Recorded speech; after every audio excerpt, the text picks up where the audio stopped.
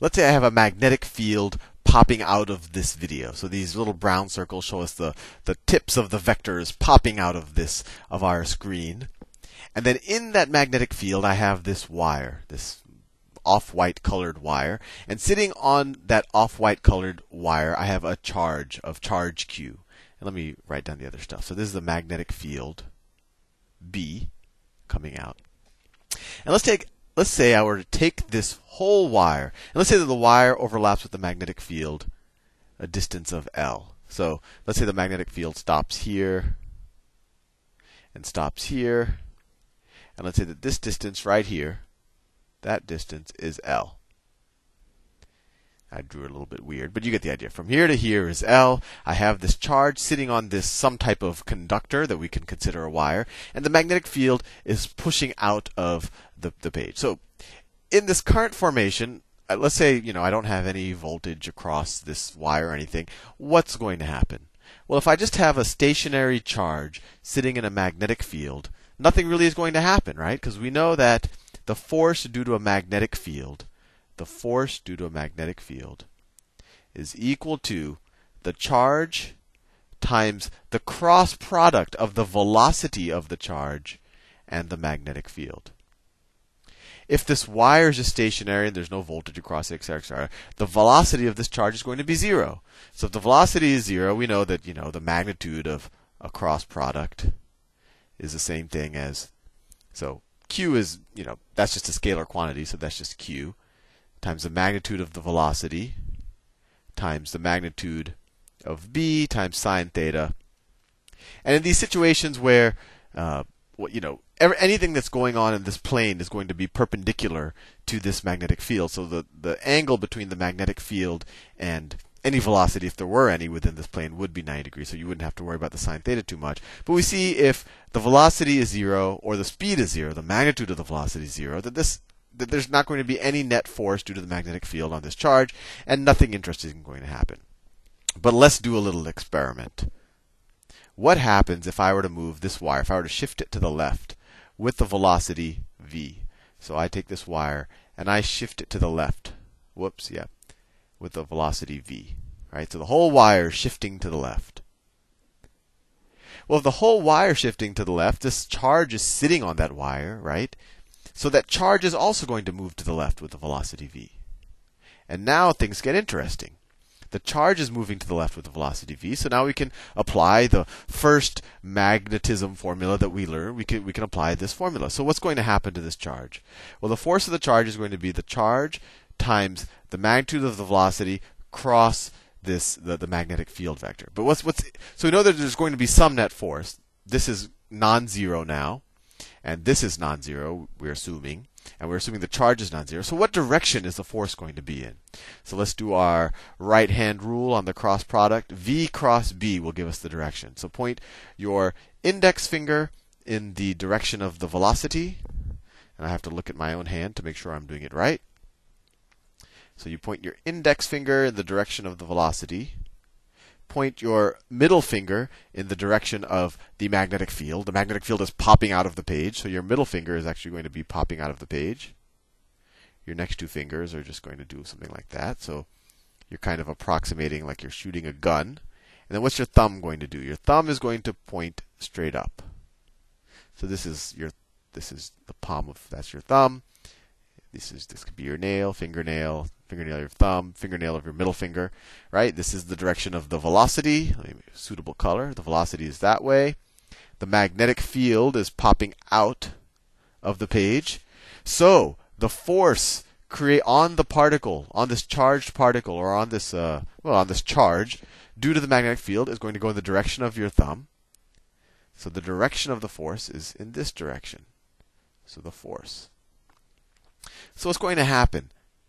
There's going to be a net force in this direction on the charge, and the charge is going to move upwards, right? So what what I mean when you start having a moving, you, you could imagine also that you had a multiple charges, right? If you had multiple charges here and you're moving the whole wire, all of those charges are going to be moving upwards. And what is another way to call a bunch of moving charges along a conductor? Well, it's a current, depending on how much charge is moving per second. So at least in a very in very qualitative terms, you see that when you move a wire through a magnetic field, or when you move a magnetic field past a wire, right? Because they're kind of the same thing. It's, it's, it's all about the relative motion. But if you move a wire through a magnetic field, is actually going to induce a current in the wire. And we can actually, um, it's going to induce the current in the wire. And actually, this is how electric generators are generated. And I'll do a whole series of videos on on how you you know if you have a using coal or steam or hydro hydropower, how that turns um, essentially that turns these generators around and it induces current, and that's how we get electricity from all of these you know various energy sources that essentially just make turbines turn. But anyway, let's go back to what we were doing. So let me ask you a question: If this if this particle and, and this all has a point. If this particle starts at like kind of the beginning, let's say the particle is right here. So it starts right where the magnetic field starts affecting the wire. And how much work is going to be done on the particle by the magnetic field?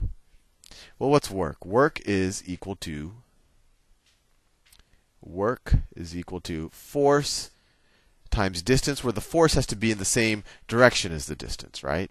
Force times distance. I won't mess with the vectors right now, but they have to be in the same direction. So how much work is going to be done on this particle? So the work is going to be the net force exerted on the particle times the distance.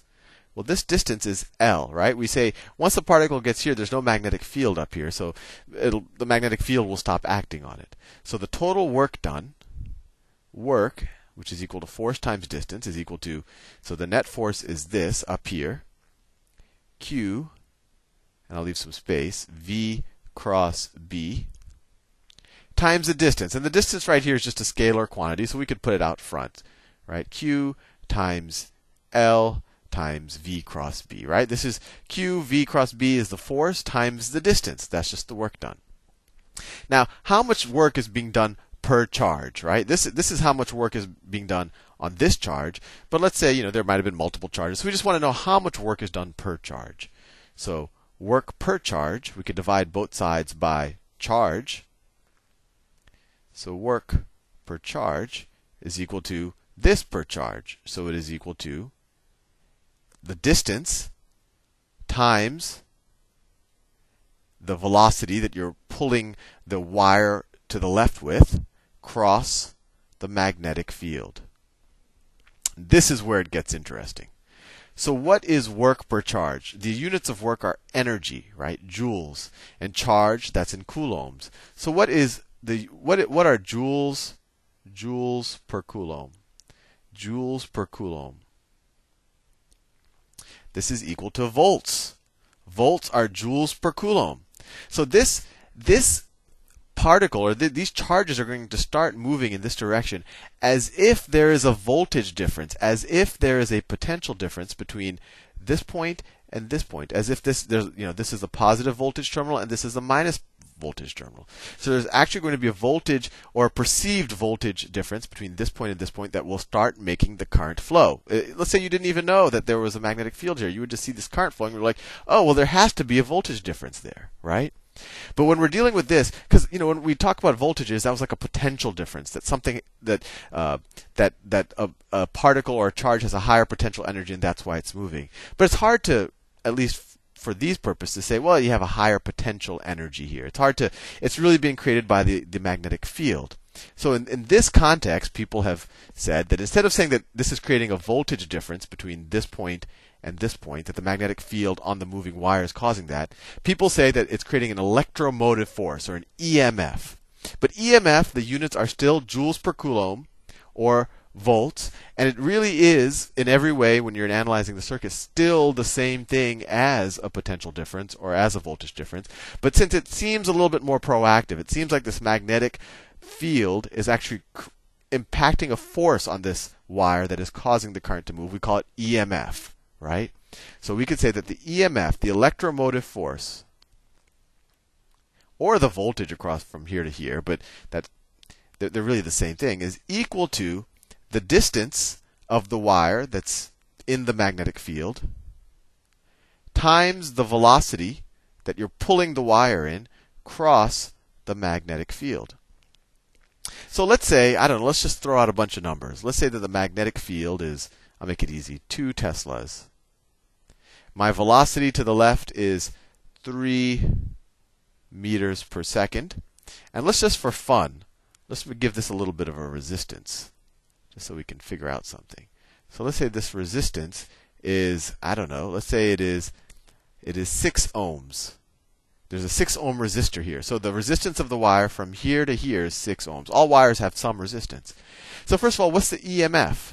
Oh, and, and let's say that this total distance right here, let's say that total distance is 12. 12 meters.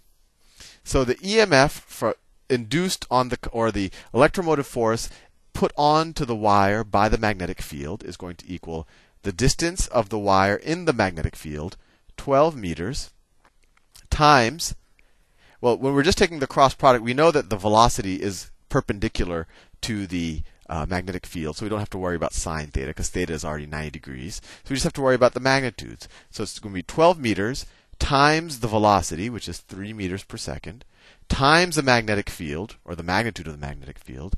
That's 2 teslas. And so the EMF is 12 times 3 times 2, 12 times 6, which is 72, you could say 20, 72 volts or 72 joules per coulomb.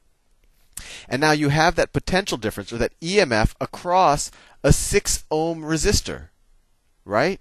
So that you just go back to voltage is equal to IR, or you could write EMF is equal to IR. So EMF divided by resistance.